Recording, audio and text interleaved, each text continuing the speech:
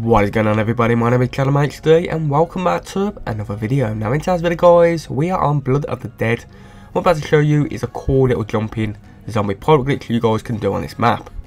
Now you don't need to use any DG5s or any other special ability to get onto this spot.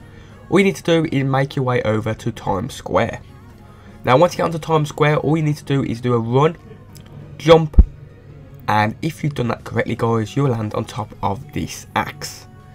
Now the good thing is the zombies do pile up, the bad thing is that the dogs, they do actually hit you.